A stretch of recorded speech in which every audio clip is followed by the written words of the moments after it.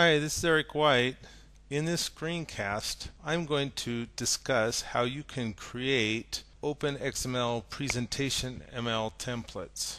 When you are creating template documents using word processing ML, it's pretty straightforward to use content controls to provide semantic information to content. You can use content controls to delineate the information that you want to replace in the generated document. But Presentation ML doesn't have content controls. However, there's a pretty easy technique that we can use that allows us to generate presentations almost with the same ease that we do with word processing ML and content controls. Let's take a look at a template document. The technique consists of using the less than hash mark and hash mark greater than to delineate fields that you want to replace in a presentation ML template. You can take a variety of approaches with this. You can simply put keywords between the less than hash and the hash greater than, such as title and customer name. Here's another slide in the same presentation. This one has a number of fields. The title of this slide has two of these import tags in it. However, there are problems associated with processing the less than hash and the hash greater than. It isn't simply a matter of looking for those patterns in a document. Any part of that tag consisting of the less than hash and the hash greater than can be split into its own run by PowerPoint. We have no control over that. Let me show you what I mean. I'm looking at one of the presentations in the Visual Studio Power Tool that allows you to edit OpenXML documents directly in Visual Studio. Here we can see the markup for the account rep tag. You can see that the less than hash is in a run that also contains the word about. You can see that account rep is in its own run and you can see that the hash greater than is also in its own run. It makes it a little bit difficult to find the exact sequence of characters that comprise the less than hash and the hash greater than, along with whatever content there is between those two tags.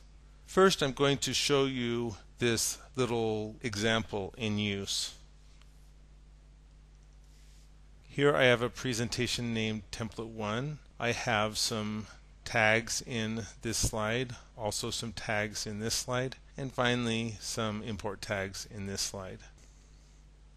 I've created a little class called PML Template Processor.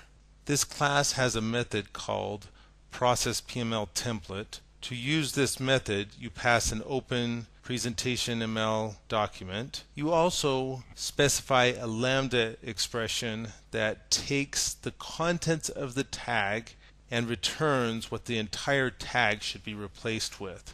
Here's a little example that shows how to use the process PML template method. This example first creates a small dictionary that contains the names of each of the tags along with the value or the string that should replace the tag in the generated document. This example uses the approach of reading the template into a byte array and then writing the byte array into a resizable memory stream. This allows us to modify that template document and save it to a new file without actually touching the original template document. Here the code opens the presentation ML document and then the code calls process PML template method.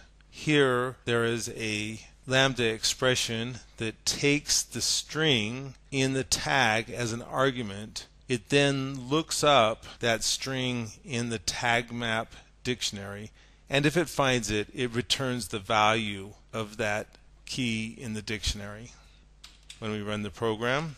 It runs almost instantly, as you can see. And now let's look at the results. We can see in the first slide those import tags have been replaced. Also in the second slide and the third slide.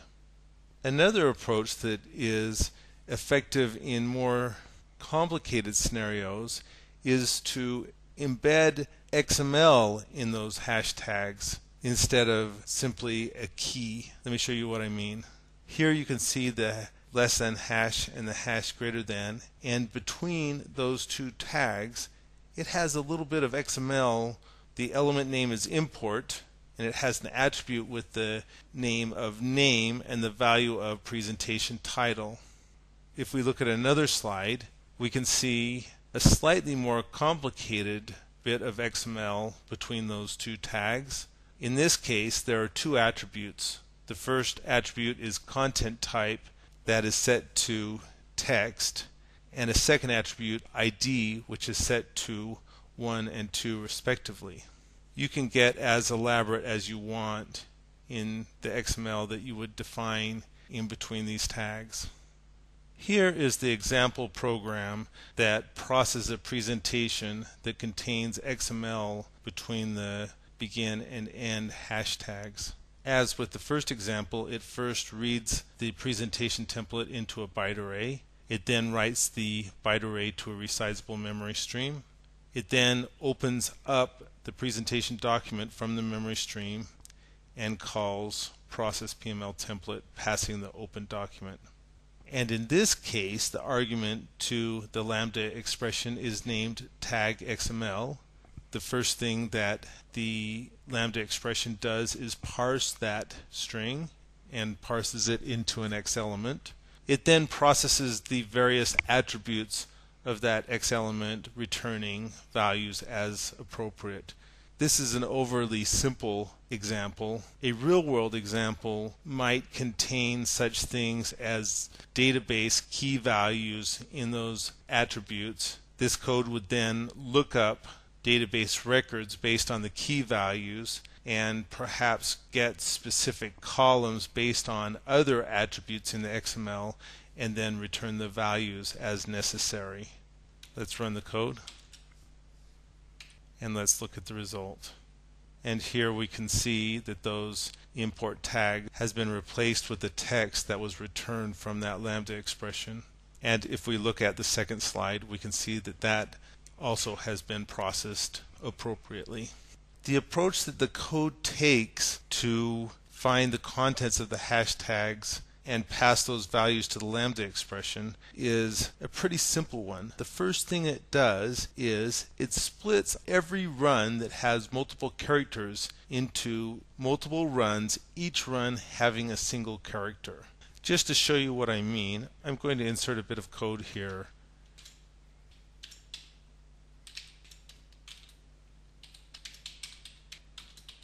I'm going to print a paragraph and all of its runs to the console and then quit the application because I just want to see the results of this print and then quit. So here you can see every run in that paragraph has been split into multiple runs, each run having a single character in it. And if we drop down here, we can find the runs that have the less than and the hash code. Here's the run that contains a space, and then the set of runs that contain the keyword between the hash tags. And finally, here's the hash greater than. I'll remove those lines. The example code then consists of a few somewhat complicated but not very complicated LINQ projections that process that string of runs to find the hashtags, find the contents of the hashtag, and then later on down here we can see where it calls the projection func, which is the lambda expression that we write in the code that uses this method. One final point is that when assembling the new paragraph to replace the paragraph that contains tags, the code groups adjacent runs that have the same formatting or the same run properties. Right here I'm going to insert some code to dump out the new paragraph.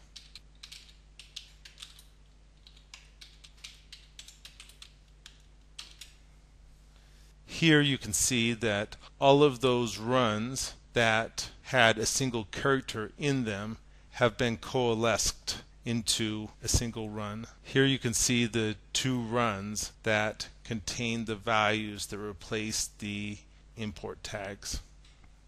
This little example uses some of my favorite extension methods such as getXDocument, putXDocument, toString align attributes, string concatenate, the rollup extension method, and the group adjacent extension method. Beyond using some of those stock tools that I use in a lot of my LINQ code, it's only about 200 lines of code to split every run into multiple runs, each with a single character, find the sequence of runs that contain the less than hash and the hash greater than, pass those to a lambda expression, get the results, and replace the results.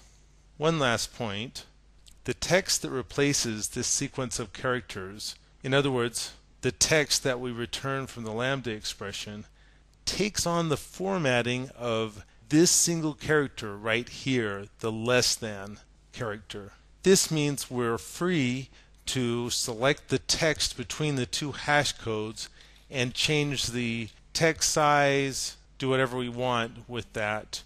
The imported text is going to have the formatting of that less than sign. That's all I'm going to discuss in this presentation. Thanks for watching.